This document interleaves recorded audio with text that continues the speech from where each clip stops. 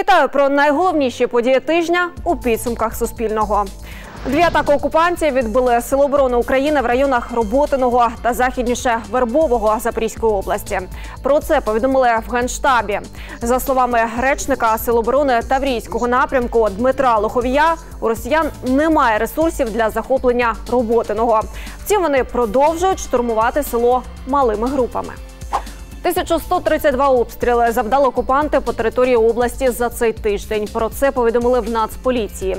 Поранення дістали двоє чоловіків: 61-річний житель Малої Токмачки та 81-річний житель Біленького. Військові РФ били з авіації, артилерії, РСЗВ та безпілотників. На запорізькому напрямку продовжують зведення фортифікаційних споруд. Про це розповів начальник обласної військової адміністрації Іван Федоров. За його словами, на це виділено 1,3 мільярда гривень, і будівництво відбувається у встановлені терміни. Намагався підірвати поштове відділення. СБУ затримала та повідомила про підозру жителю Запоріжжя. За матеріалами відомства фігурант виготовив вибухівку з дистанційним керуванням для підриву поштового відділення. Інструкцію йому надала російська спецслужба. Також він мав виявляти місця зосередження особового складу і техніки ЗСУ. За держзраду та підготовку до вчинення терористичного акту йому загрожує довічне ув'язнення.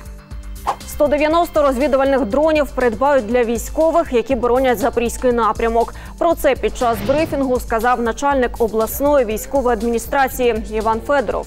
За його словами, на закупівлю БПЛА з бюджету області виділили більш ніж 20 мільйонів гривень. Майже 21 мільйон гривень спрямують запоріжцям на ремонт пошкодженого житла. Про це повідомив секретар міськради Анатолій Куртєв. Надання державної компенсації за програмою є відновлення погодили ще 10 власникам пошкодженого житла. Загалом за час дії програми містяни отримали від держави майже 18 мільйонів 700 тисяч гривень. П'ять обласних установ і досі перебувають без директорів, бо в них закінчилися контракти. А депутати облради два роки не збираються на сесії, щоб вирішити ці питання. Про це сказав голова обласної військової адміністрації Іван Федоров. Нагадаємо, комітет Верховної Ради з питань нацбезпеки та оборони пропонує передати повноваження депутатів Запорізької обласної ради обласній військовій адміністрації. Відтепер рішення мають ухвалити парламентарі. Із Запоріжжя до Марганця поклали новий магістральний водогін протяжністю майже 80 кілометрів. Він вже готовий до запуску. Воду братимуть із річки Дніпро у Запоріжжі і почнуть постачати після того, як підключать постійне електропостачання. Про це повідомила прес-служба підрядної компанії.